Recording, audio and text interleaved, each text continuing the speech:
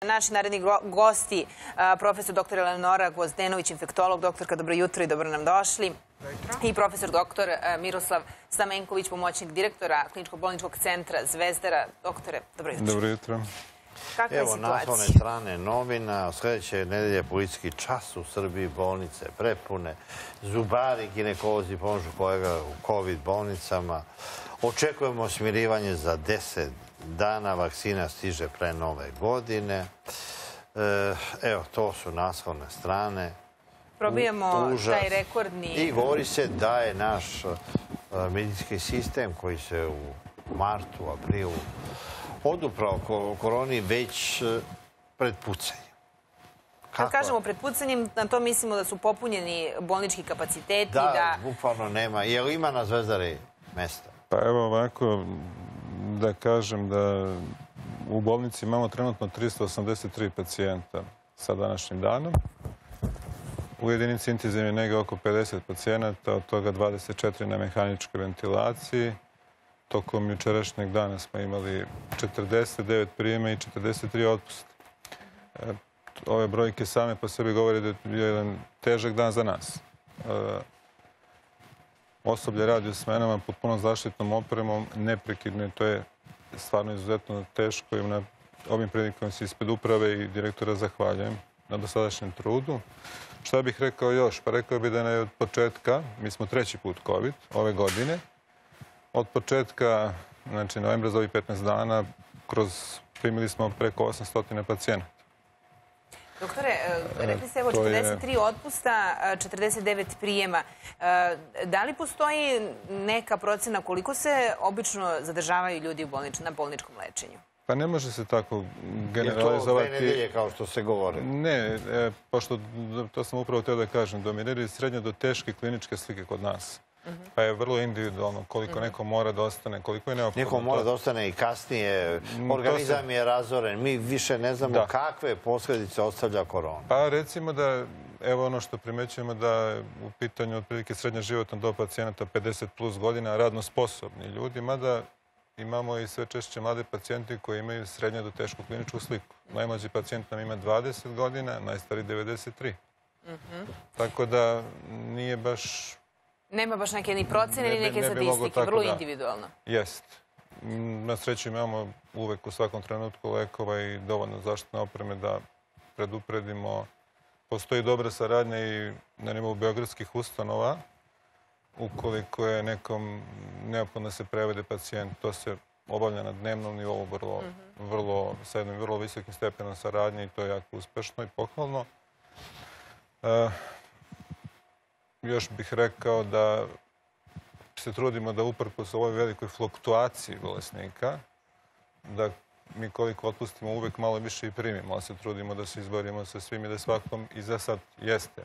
Sistem je prenapregnut, ali za sada uspešno zbrinjavamo sve pacijente kojima je neophodna hospitalizacija i pomoć. Doktorka, evo, juče smo i evo, pročitali neke izjave od naših e, stručnjaka doktora koji su u kriznom štabu. I dalje postoje e, pojedine osobe koje smatraju da koronavirus ne postoji i shodno tome se i ponašaju. E, I onda su doktori rekli, evo, pozivamo sve one koji zaista veruju e, da ovo ne postoji, da je ovo politički, da je ovo izmišljeno. Neka budu volonteri, neka dođu e, u naše zdravstvene jedinice, neka pomognu i neka vide šta se zapravo tamo dešava. Pa ja mislim da bi to bilo apsolutno fantastično kad bi se neko odazvao tom pozivu. Međutim, čisto sumnjam da će se iko odazvati tom pozivu, da će iko hteti da uđe u bolnicu. Jednostavno, ljudi ne vole da ulaze u bolnicu, ljudi ne umeju da se ponašaju, tako da i kad bi došli kao volonteri, sa njima bi bilo dosta problema, jer bi trebalo prvo da se nauče kako da se ponašaju, kuda smeju da idu, kuda ne smeju da idu, da to jednostavno nije ulica na kojoj mogu da se kreću kuda god hoće, u kom pravcu, da se tu zna na koju stranu treba da se krene, kome treba da se pomogne i na koji način treba da se ponašaju. Tako da ja nisam sigurna da bi oni bili prihvaćeni i s druge strane u bolnicama, jer mislim da bi više smetali nego pomogli. Ali Neka se odazovu, neka dođu, neka im se objasni šta treba da rade. Ima tu poslova koje mogu da se rade, znate. Mi u bolnicama nemamo dovoljno nikada ni čistačica, ni spremačica, ni nekog osoblja koje treba da pomogne, da nešto odnese, da donese, da nešto opere. Ima tu dosta poslova tih koji ne moraju da se direktno vezuju sa bolesničkim sobama. Ali doktorka, zaista, evo i doktor je pomenuo da od 20 do 93 godine imali smo i lepu vez da je baka od 90 godina pre, pregurala koronu, pobedila koronu, da je otpuštena kući i da je dobro, ali opet s druge strane imamo i vez da je umro nastavnik fizičkog, star samo 37 godina. Ako se ne varam, tokom juna ili jula smo imali situaciju da je isto mlada osoba do 30 godina preminula bez ikakvih onih kritičnih ranijih tegoba, problema, nije neko spada u kritičnu kategoriju. Evo vi kao infektolog, šta to sada govori o ovoj koroni? Da li sad znamo nešto više nego što smo znali na početku ili je to jasno, je to virus kao bilo koji drugi koji ostavlja posledice, da je važno izboriti se sa njim samim, da budemo negativni, ali nakon toga e, ćemo ga lečiti još dugo vremena? Vidite, svaki virus za sebe. Ne možemo mi sve viruse da podvedemo pod istu kapu. Tako da se svi ponašaju na različite način. Mi znamo da se izvesne grupe virusa ponašaju na neki način, ali ni to nije isto tako precizno određeno. E, pitanje imuniteta. Mi mnogo više znamo o tom virusu nego što smo znali na početku. Mnogo više znamo o toj bolesti nego što smo znali na početku. Međutim, svaki čovjek nosi svoj imunitet i svaki, svaka bolest se drugačije ispoljava kod svakog čoveka. I mi znamo odlično da se ne leči bolest, da se leči čovek koji je bolesan i da se njemu pomaže da prođe kroz tu neprijatnu situaciju. I ukoliko je imunitet suviše jak ili suviše slab, onda će da bude jedna vrlo teška klinička slika. Ukoliko je imunitet umeren, onda će biti umerena klinička slika. To mi učimo i na studijama, znate. Tako da znamo da od najlakših mogućih bolesti koje mogu da se zamisle, recimo, ajte zauške kao jedna infektivna bolest koja je vrlo laka. Znamo da one mogu da imaju komplikacije, znamo da od njih mogu da ostanu posljedice što se izuzetno redko dešava. Tako i da i u ovoj bolesti mi ne znamo ko će da prođe na koji način. Doktore, e, danas imamo i najveći broj novoobolelih, ali najveći broj testiranih. I govorilo se o tome da kada smo imali manje testiranih, imali smo i manje e, novoobolelih broj. Što više testiranih, to više e, zaražen. Sada, evo, kao što doktorka kaže, ne lečite vi testove, niti da li je neko pozitivan ili negativan, leči se stanje. Leči se klinička slika, jeste pacijenta, jeste. Znači, isključivo se vodimo kliničkom slikom i svaki pacijent ima svoj individualni pristup. Ne može se tako I u principu što se ranije počne sa terapijom kod težih kliničkih slika uvek Ali, doktore, e, ranije se govorilo da će ovi novi talasi, e, kako vreme prolazi, biti blaži. Onda smo imali e, šok u junu, julu, gdje su obujci korone bili čak i daleko jači nego u martu, aprilu. Evo vidimo, sad je masovnije, ali su i dalje simptomi e, zastrašujući. Pa dobro, sad pričamo, e, da li, pričamo... Izgleda da je to isti virus. Jeste, ali moramo da kažemo, profesorka to bolje može da objasni, imamo veliki broj pacijenata sa udruženim komorbiditetima. To težava lečenje aktualne infekcije. Imate veliki broj starijih osoba koje su inače ugrožene zbog svojih komorbiditeta i to ozbiljno ugrožene i ovo je samo dodatno otežavajuća okolnost. Zbog čega ljudi umiru? Od svojih bolesti ili od korone ili e, zbog e, ukrštene korone? Evo vidjeli smo da nema sezonskog gripa, nego samo korona, da je korona pobedila sezonski grip. Pa ne znamo da li je korona pobedila sezonski grip. Vi vidite koliko je testirano svakog dana, da je to izuzetno jedan veliki broj. Međutim, drugo što vidite, to vidite da je veliki broj onih koji su pozitivni. Ukoliko uporedite te brojke sa brojkama koje su bile u julu, onda je to potpuno drugačije. Ovdje je negdje oko 30% do 40%, a u junu je bilo ispod 10% ili u julu. Je li tako nekako bilo? Šta se dogodilo? Tako da... Ne, govorimo o masovnosti. Jednostavno, ja ne znamo pred svega šta se dogodilo, ali ja mislim da se svest ljudi veoma mnogo podigla i da ljudi koji imaju razne minimalne tegobe u smislu neke infekcije, da se oni javljaju. A Na su se u- da se testiraju, a da se u ono doba javljao veliki broj ljudi koji su hteli da putuju i koji su bili potpuno zdravi, koji su A sad se javljaju morali... samo sa simptomima A i zato samo je sa veći simptomima. procenat Tako da ja mislim da je to u pitanju. A s druge strane, u pitanju je jesen. U jesen se zna da su vrlo česte respiratorne infekcije i da mi svaki put u jesen I imamo bez korone. neke talase bez korone, naravno talase respiratornih infekcija. Uostalom, svi oni koji imaju decu znaju kako deca obolevaju u jesen kad krenu u školu, pa krenu iz jedne u drugu infekciju dok ne dođe tamo neki februar mesec kad se malo izvuku. E, Doktorka, mi e, imamo opet situaciju da e, se borimo sa tim da li su zaista maske nešto što će nam pomoći u ovakvom trenutku, da li je to e, ta distanca i ta dezinfekcija zapravo e, nam, naše jedino rešenje i naš jedini spas. Ne govorimo samo o tom trenutku kada će doći vakcine, koliko će vremena trebati da se e, imunizuje na nivou e, broja naših sugrađana da bi to moglo da ima neko dejstvo. E, maske definitivno je, su preventiva koja nam može spasiti i nas i našu okolinu. Pa, maske je nešto minimalno što možemo da uradimo i što može da nam pomogne. I poznato je da su maske tu delotvorne.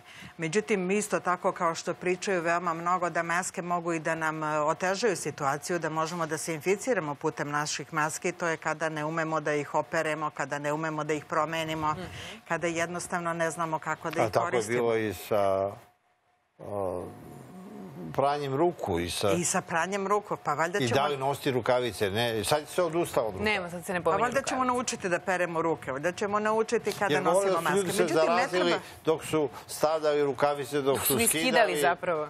Ma nije moguće. A da Pa kako nismo- ne? Zato što su Nije pipali sve živo, onda se skine naučila ovako. ni da skida rukavice, ni da Nek naučimo peremo ruke za Ja početak. mislim, A da onda smo cela, se vratili pranju ruku.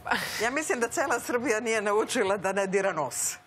Jel vi vidite na svim ekranima, u svim ovim talk show Non stop diramo lice. E, ne sme da se dira lice. Pa ja, nama je to jasno, ali kako bih vam rekla, to se radi. Dakle, pa mnoge stvari ne pa smeju pa se rade. Zato što, Jednosta- da li znate da ne sme da se, da se ne. Šta da se sme ne sve? sme da se a, okuplja i da ne sme da se prave a, žurke. Žurke. A evo, Beogradski klub je zakazao korona žurku, ali ples počinje u cik zore i traje do podneva. Jel shvatate? Dakle, jel to sme? Jel na Jeste pitanje vremena? Ne, ja ovo čitam stvarnu informaciju. jeste vidjeli dakle, ono drugo nije... interesantno? Kaže, nećemo da pravimo slavljen zato što ne sme da se okuplja više od šest ljudi, a s obzirom da u autobusu imamo dosta ljudi, kaže, pravit ćemo jednu žurku u autobusu, Tako samo je. da se dogovorimo na kojoj liniji. Tako je. Ali bilo je takvih slučajeva i na Ušću, sramota. su ljudi išli brodovima uh, u kružingi, pravili lude žurke, pa Ma, ih je sramota. policija jurila po Evo, vidite šta reci, sve ne po da se Savi, radi. po Pazite Dunavu. ovako. Oni su bežali brodom. Mene se ne, ne tiču u krajnjoj liniji što će oni da se razbole. Ali mi je žao kolega koji neće znati šta da rade sa tim ljudima koji su razboli, jer neće ih biti dovoljno da pruže pomoć tim bolesnim ljudima. Jer oni će se razboleti zato što su bili bahati. A jednostavno, posle kad se razbole, doći će u bolnicu i tražit će od nas da ih lečimo. Doktore, da li, će, da li mere e, mogu da utiču na to da neko se sankcioniše? Zato što to nije stvar individualne odluke, to je stvar javnog zdravlja. Dakle, ima svako pravo da se zarazi, da umre od čega god to poželi, ukoliko to utiče samo na tu osobu, ali ukoliko ta zaražena osoba uđe sa nama u prodavnicu, ja ne mogu da utičem na to da li ću ja biti zaražena ili bilo ko od naših sugrađana. Doktor Pelemiš je saopštio da će danas ili sutra analizirati situaciju. Ako nema poboljšanja, pooštra, pooštravaće se mere, shodno tome da je rečeno da će do 1. decembra biti ove postojeće, dakle da su uh, ugostiteljski objekti uh, se zatvaraju u 21 čas, uh, da je obavezno nošenje maske u zatvorenim prostorijama i držanje rastojanja i da ne čitam sada ove postojeće, mislim da ih dovoljno znamo, postoji mogućnost da će se pooštriti mere. Je li to način? Pazite, znači svest je svako od nas treba da ima svoju odgovornost i da nosi sa sobom tu svoju odgovornost. Ne možete vi nekoga naterati da uradi nešto ako on to ne želi, ali svesni smo mi da ide i vreme slava i proslava, ali je napad sa naše strane da se smanje proslave. Znači da se smanje Ne, mi smo ovde e, Da se drže propisali da niko ne može na slavu da ide bez Negativnog e, negativnog PCR testa, testa. 48 Ne može da uđe niko. To može, to je u redu. Čak i ovdje u emisiji smo tražili, ne može. Ali neće da nam dođe sa PCR testom. najbitnije je ipak one, Može i sa antiteli. to se stalno ponavlja, da se ipak držimo propisanih mjera. Ako smanjimo broj kontakata i držimo distancu, nosimo maske, sami štitimo sebe i svoje porodice prvenstveno, pa tek onda okolinu. Onda neće biti ni gripa. Doktore, moram sad da vas pitam, uh, da li se plašite? Šta nam sledi? Kao odgovorno lice, kao neko ko pokušava da možemo se zaštiti plašiti, živote. Da li moramo- imate strah od toga da će nečije uh, nekolicine, uh, neodgovornost, neprihvatanje korone, uh, zaista napraviti kolaps? Ne možemo se plašiti, mi se moramo boriti i istrajati. I to je jedini način. Ne, ne možemo popuštati pred ovim. To je jednostavno tako. Znači, nema drugog. To je naš put. Borba. Tako je. Hvala vam. Hvala na Hvala. informacijama. Hvala. Podsjećamo još jedan put za sve one koji, doduše oni koji nas redovno gledaju, oni e, i nose maske, i imaju distancu i vrlo su, vrlo su odgovorni. Da, gledanje ove emisije s maskom i kod kuće. Ne, ne, preporučujemo da a, oni koji nas gledaju a, ovaj, ra- ovakve razgovore a, proslede svojim prijateljima koji možda ne ustaju ujutru rano i ne gledaju i kažu, ma čuo sam za koronu, ali ne znam šta je. Opasna je stvar, čuvajte se. Idemo na Hvala. kafe. Hvala vam.